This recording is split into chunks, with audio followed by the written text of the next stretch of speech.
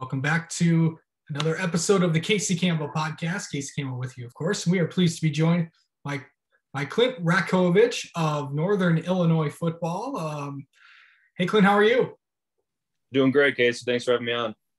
Okay, so I'm not sure if practice has started yet for you guys, but I know it's getting pretty close as we're getting towards uh, as many schools are coming to camp and all that. But how excited are you to uh, get started with a literally a brand new team? Oh, I'm pumped up. Uh, it's been almost two years since I actually got to play some real football. Uh, I got to do spring ball this year with the team, so I'm real excited to actually get to some real football. So yeah, well, I mean, you, what was it like to not play at all? I mean, what were you doing and all that? uh, you know, it kind of brought me back to my redshirt year. It's kind of the same feeling. It's where you got that empty space in your heart. You know what I mean? The thing you love, you kind of just got to sit out on the sidelines and watch. So it, it was kind of very similar to a redshirt year for me. Yeah. So what intrigued you to to come to Northern Illinois? Obviously, we know what we know what Coach Hammock has done with the program since he got there. Of course, he's a fellow Husky himself, and coming from you know the NFL and stuff. You know what intrigued you about coming to to Northern Illinois? Yeah, so when I hit the transfer portal, I got that call from Coach Sorrentino. He kind of had that uh, really heart to heart with me, just saying how they kind of use me, how they see me fitting in the offense, fitting in with the guys. And kind of the same thing happened with Coach Hammock. You know, he had that conversation with me.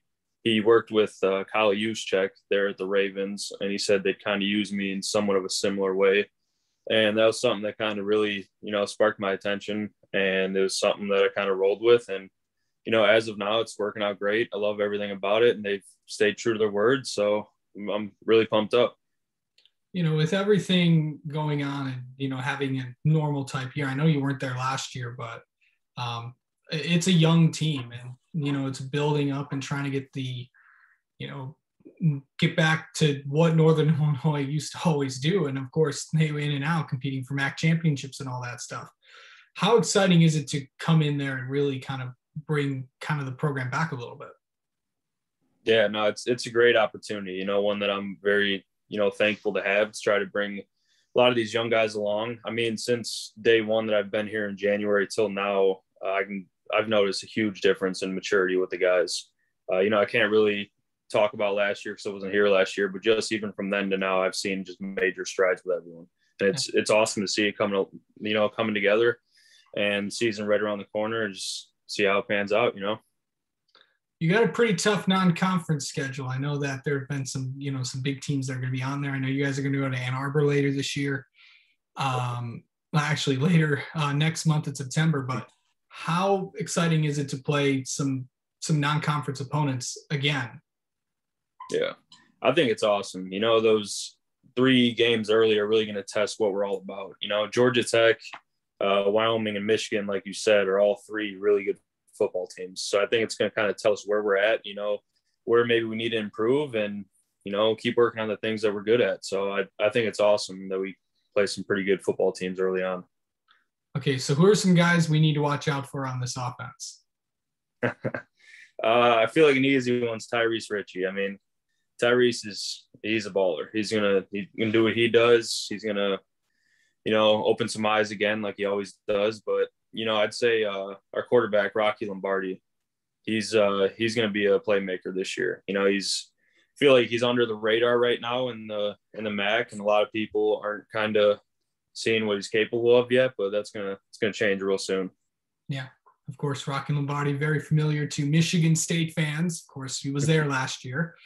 Um, how exciting is it to um, you know play in the MAC conference and all that, and play in you know with a, with a bunch of new teams and something that you're you know coming from staying in in the in the state of Illinois to go from Western to Northern. Yeah, no, it's it's an awesome opportunity. You know, I've I think it was a few years ago I started to kind of figure out what the action was. I wasn't really too uh, uh, you know, I, I, didn't really know exactly what it was until a few years ago and started watching some of the games and just uh, it's a very high level of football, which I was very excited about, and it's an awesome opportunity to be a part of it now. Yeah, action every uh, and of course uh, midweek games on uh, in November. That's going to be that's going to be really exciting. I think I might hit a few of them, but Yeah. um, okay. So in the let's kind of get to know you a little bit too. I want to make make spice things up a little bit. So with the Olympics going on, um, have you been watching them? What's your favorite sport and um, and all that? Uh, yeah, I've been following around a little bit. Uh, you know, the one that always gets me is swimming. I, I don't understand how those people can do that. Was it Katie Ledecky swimming what fifteen hundred meters or something like that? I, I'll take a few laps around the pool and I'll be winded, and she's making it look easy. So, uh, I, I watch a lot of swimming, watch some basketball, and then uh, I was watching the Olympic golf too. Yeah. I believe uh, Xander Schauffele won it this year, You did. so that was you that was exciting to watch.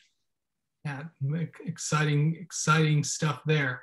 So yeah, the art. The have you watched like the where they dance in the pool, the artistic swimming or synchronized swimming and all that? And I, I've seen a little bit of it. It's They, they, they dance in the water. They stand on their legs and stuff. It's it's it's pretty interesting. It's- yeah. Um, okay, so what's your um, favorite, you know, favorite sports team that you root for? Could be pro or anything. Hmm. Uh, you know, I, I really don't have a favorite team because I'm I'm kind of big on players, especially in kind of professional sports, because it seems like everyone's always moving around, and the next year it can be an entirely new team. But I was a big Patriots fan when uh, Tom Brady was there, Julian Edelman, and all those guys. Yeah. So I, I still kind of follow around with them. Yeah. Um, what's what's your all-time favorite movie? Oh, I'm gonna go Step Brothers. It, it's it's a close one, Step Brothers and Talladega Nights, but Step Brothers definitely takes it for me. Yeah, actually, to, I think today, either today or tomorrow, I think this is the 15 year anniversary of when Talladega Nights came out. I'm, I, Oh, I wow. saw something like that today. so, yeah. Jeez, I'm, get, I'm getting old. Yeah. Um, okay. I know if you have the time, what what show are you watching? What show are you streaming on on a platform or anything like that? Uh, with my girlfriend, we kind of try to watch new shows here and there, and we just got into Outer Banks on Netflix. A lot of people That's are getting pretty- into that. Yeah, it's it's a pretty good one. You know, it's it's interesting. Okay. And also name three things people might not know about you. Oh, uh, my middle name's Bronco. It's spelled B R A N K O, but it's pronounced Bronco. It's a Serbian name. A lot of people don't know that about me. Uh, I'm really good at Xbox. I Yeah. I play uh, I play Warzone a lot, and Nice. you know a lot of people say they play, but I'm actually pretty solid.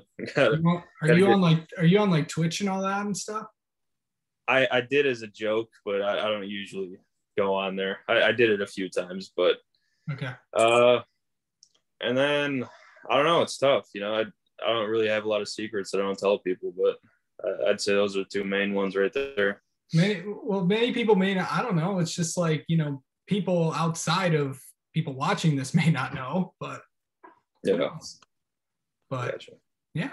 So, all right. Well, Clint, thank you so much for taking some time to talk with us, and uh, good luck this season. Yep. Thanks again, Casey. Appreciate it.